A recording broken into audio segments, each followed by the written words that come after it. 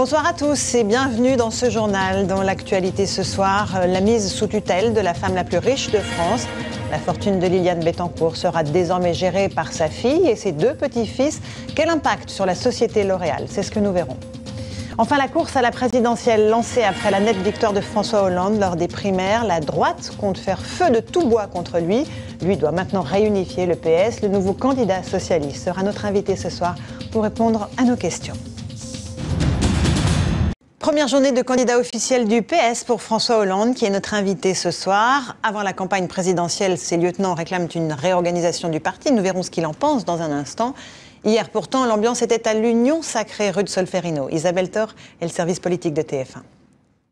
Alors François Hollande, bonsoir. Bonsoir. La campagne présidentielle est bien lancée, on vient de l'entendre. Qu'avez-vous à répondre à l'UMP qui reprend nombre des arguments de Martine Aubry pendant la campagne? Gauche molle, flou, candidat du système Écoutez, c'est de bonne guerre mais ça ne durera pas, puisque vous l'avez vu, euh, les socialistes sont rassemblés. Nous avons obtenu une très belle victoire, j'allais dire euh, par rapport à nous-mêmes, c'est-à-dire euh, dans ces primaires où nous avons emmené 3 millions de Français chaque dimanche. Mais maintenant, il faut se tourner vers tous les citoyens. Merci beaucoup. François Hollande d'être venu ce soir en réservant vos premières paroles de candidat officiel à notre antenne. Merci. C'est une nouvelle conquête de l'Ouest, made in China. Depuis quelques mois, la Chine joue les sauveurs en Europe, rachetant de la dette souveraine, mais également des entreprises dans des secteurs parfois stratégiques. La France n'échappe pas à cet appétit des Chinois. Alors, faut-il avoir peur de cette offensive économique de la Chine ou faut-il au contraire s'en réjouir? C'est l'enquête de ce 20h. Elle est signée Christelle Chiroux, Jean-François Drouillet et Jean-François Joanne.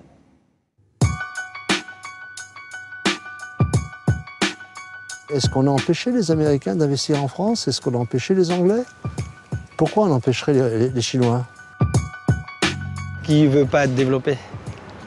Tout le monde essaie de faire la même chose, quoi.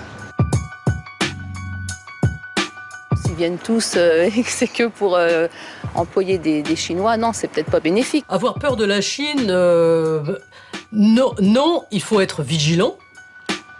Porte d'Aubervilliers, nord de Paris. Longtemps laissée en jachère, aujourd'hui cette zone industrielle revit. Xu Shengwang, arrivé en France à l'âge de 13 ans, est ici comme chez lui. C'est comme un petit village, tout le monde se connaît après tout le monde. Quoi. Ce chef d'entreprise gère la location de près de 200 boutiques, l'équivalent de trois rues entières. Ah, bah Vêtements, chaussures, maroquinerie, Aubervilliers est devenu le rungis du textile tenu exclusivement par des Chinois. Et M. Wang facilite l'implantation de ses compatriotes. On n'a pas besoin de passer par une agence, euh, attendre trois mois. Euh, tout, le monde euh, se fait confiance et tout se passe beaucoup plus rapidement. Plus de 5000 Chinois s'affairent autour des cartons et des camionnettes. Une manne financière pour la ville d'Aubervilliers. Alors, la commune voit grand. Être la première plateforme européenne des grossistes un centre d'affaires est en construction. Monsieur Wang, lui, voit encore plus grand. Sa société cotée en bourse vient de mettre un pied dans le port du Havre. Donc là, la signature prévue le 25 octobre. Le 25, ouais, Donc comme ça, on va attendre. Face à des grands groupes, Xu Shengwang a remporté le marché. Il vient d'acheter cet ensemble d'entrepôts vides. Investissement, 22 millions d'euros. On dit ça y est, les Chinois achètent le port du Havre. Ah non, non, c'est ça. très excessif. ouais, ça c'est très excessif. Ah, vous allez vous arrêter au Havre? Ah, Pour le moment, c'est déjà pas mal qu'on a fini ce projet-là. Après, s'il y a d'autres occasions, on verra. Hein. Pour l'instant, M. Wang achète seulement 90 000 mètres carrés. Mais l'ascension de ce Chinois est sans limite. Pour accueillir des investisseurs de l'Empire du Milieu, la France profonde est aussi prête à dérouler le tapis rouge.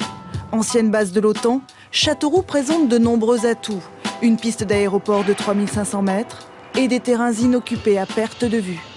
Les élus locaux ont signé une convention avec une société majoritairement chinoise pour trouver des investisseurs.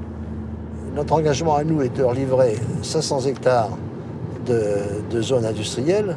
Et eux, ils ont un engagement, c'est de créer 4000 emplois avec un maximum de 20% d'emplois chinois. Pour l'instant, Seule chose concrète pour illustrer le projet, cette maquette Made in China. Des usines d'assemblage, une université est perdue au milieu ce château d'époque qui sera préservé. Après le drapeau américain, Voir le drapeau chinois flotter dans le ciel berrichon n'enchante pas tout le monde. On se pose des questions. Est-ce que justement ça va vraiment créer du travail pour les Castelroussins?